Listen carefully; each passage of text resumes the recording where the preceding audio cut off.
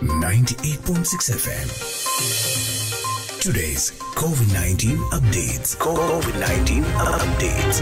ഖത്തറിൽ ഇന്ന് നൂറ്റി എഴുപത്തിയൊന്ന് പേർക്ക് കോവിഡ് രോഗം ഭേദമായതോടെ ആകെ രോഗവിമുക്തി നേടിയവർ രണ്ട് ലക്ഷത്തി നാൽപ്പത്തിനാലായിരത്തി മുന്നൂറ്റി പതിനാറായി പുതുതായി നൂറ്റി എൺപത്തിയേഴ് പേർക്ക് കൂടി രോഗം സ്ഥിരീകരിച്ചു ഇതോടെ ആകെ രോഗം സ്ഥിരീകരിക്കപ്പെട്ടവരുടെ എണ്ണം രണ്ട് ലക്ഷത്തി നാൽപ്പത്തിയേഴായിരത്തി പത്തായി ഇരുപതിനായിരത്തി എഴുന്നൂറ്റി എഴുപത്തി ഒൻപത് പേരിലാണ് കഴിഞ്ഞ ഇരുപത്തിനാല് മണിക്കൂറിനകം രോഗപരിശോധന നടത്തിയത് ഖത്തറിൽ നിലവിൽ രണ്ടായിരത്തി മുന്നൂറ്റി മുപ്പത്തി ഒൻപത് പേരാണ് രോഗബാധിതരായുള്ളത് ലുസൈൽ ട്രാം സർവീസുകളുടെ ആദ്യഘട്ടം രണ്ടായിരത്തി ഇരുപത്തിരണ്ട് ജനുവരി ഒന്നിന് പൊതുജനങ്ങൾക്കായി തുറക്കുമെന്ന് ഗതാഗത മന്ത്രാലയം അറിയിച്ചു. ആദ്യഘട്ടത്തിൽ ഓറഞ്ച് ലൈനിന്റെ ഒരു ഭാഗത്തിന്റെ പ്രവർത്തനമാണ് ആരംഭിക്കുന്നത്. Marina marina promenade yacht club esplanade energy city south എന്നീ ആറ് സ്റ്റേഷനുകളും ലെക്തൈഫിയ സ്റ്റേഷനും പ്രവർത്തനം ആരംഭിക്കും. ലുസൈൽ ട്രാം ആഴ്ചയിൽ ഏഴ് ദിവസവും അഞ്ചു മിനിറ്റ് ഇടവേളയിൽ പ്രവർത്തിക്കും. സേവനം പൂർണതോതിൽ പ്രവർത്തന സജ്ജമാകുമ്പോൾ പൊതുജനങ്ങൾക്ക് ലുസൈൽ നഗരത്തിന്റെ എല്ലാ ഭാഗങ്ങളിലും എത്തിച്ചേരാനും ലെക്തൈഫിയ ലുസൈൽ സ്റ്റേഷൻ വഴി മെട്രോ നെറ്റ്വർക്കുമായി ബന്ധപ്പെടാനും ട്രാം ഉപയോഗിക്കാനാകും.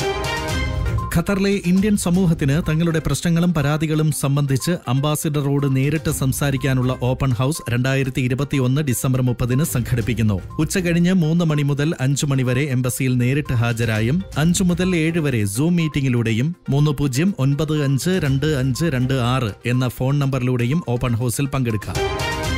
രണ്ടായിരത്തി ഇരുപത്തിരണ്ട് മുതൽ രാജ്യത്ത് ഉപേക്ഷിക്കപ്പെട്ട വാഹനങ്ങളും ഉപകരണങ്ങളും നീക്കം ചെയ്യുന്നതിനുള്ള സംയുക്ത സമിതിയുടെ പുതിയ പദ്ധതിയിൽ ഉപേക്ഷിക്കപ്പെട്ട വാഹനങ്ങൾ കയറ്റുമതി ചെയ്യുന്നതിന് കമ്പനികൾക്ക് ടെൻഡർ നൽകാനുള്ള നിർദ്ദേശം ഉൾപ്പെടുമെന്ന് പ്രാദേശിക അറബിക് ദിനപത്രം അർ റായ റിപ്പോർട്ട് ചെയ്തു. നിലവിൽ പിടിച്ചെടുത്ത ഉപേക്ഷിക്കപ്പെട്ട വാഹനങ്ങൾ പ്രത്യേക ഇമ്പൗണ്ട് യാർഡുകളിലേക്ക് കൊണ്ടുപോകാറാണ്. അവയുടെ ഉടമകളിൽ ചിലർ കുടിശ്ശിക അടയ്ക്കാനും അവ തിരികെ ക്ലെയിം ചെയ്യാനും മുന്നോട്ട് വരുന്നതായും അർ റായയുടെ റിപ്പോർട്ടിൽ പറയുന്നു.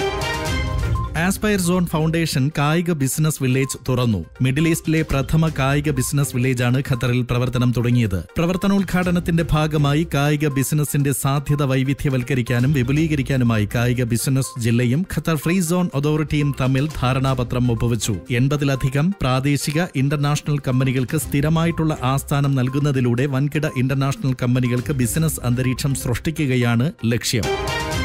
ലോകത്താകെ ഇതുവരെ അൻപത്തിമൂന്ന് ലക്ഷത്തി തൊണ്ണൂറ്റി ആറായിരത്തി മുന്നൂറ്റി അറുപത്തിയേഴ് കോവിഡ് മരണങ്ങൾ റിപ്പോർട്ട് ചെയ്തു. ആകെ പോസിറ്റീവ് കേസുകളുടെ എണ്ണം ഇരുപത്തിയേഴ് കോടി എഴുപത്തിയാറ് ലക്ഷത്തി നാൽപ്പത്തി എണ്ണായിരത്തി അറുന്നൂറ്റി അൻപത്തി ഒൻപതായി ഇതിൽ ഇരുപത്തിനാല് കോടി എൺപത്തിയെട്ട് ലക്ഷത്തി എഴുപത്തി മൂവായിരത്തി എഴുന്നൂറ്റി തൊണ്ണൂറ്റിയഞ്ച് ആളുകൾക്ക് രോഗം ഭേദപ്പെട്ടു.